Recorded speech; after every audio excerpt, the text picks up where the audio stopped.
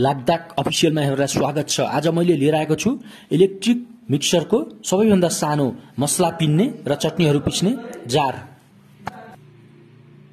यदि तपाईँहरूको घरमा यस्तो सानो खालको मिक्सरको जार बिग्रिएको छ र तपाईँहरूको मोटरले चाहिँ राम्रै काम गर्छ भने यो एक्स्ट्रा जार यहाँहरूले किनेर फेरि राम्रोसँग प्रयोग गर्न सक्नुहुनेछ।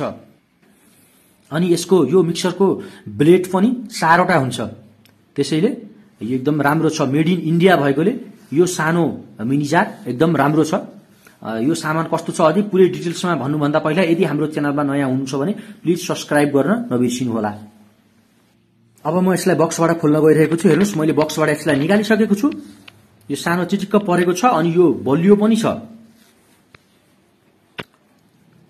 अनि यसको पछाडिको दाँत हेर्नुहोस्।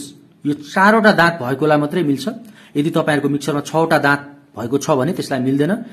यदि यो सामान खरिद गर्नुभन्दा पहिला यो भिडियो हेरेर खरिद गर्नुभयो भने सजिलो हुनेछ।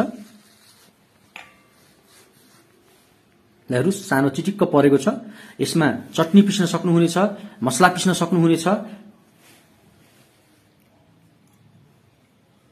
र यसको ढकनी पनि म देखाउँछु तपाईँहरूलाई।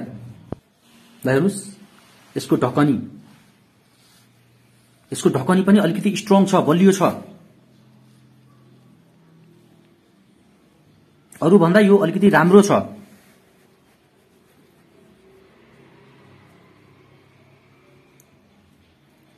यसरी तपाईँहरूले यदि यो सामान खरिद गर्न चाहनुहुन्छ भने यहाँहरूले डिस्क्रिप्सनमा मैले लिङ्क दिएको छु त्यहाँबाट खरिद गर्न सक्नुहुनेछ।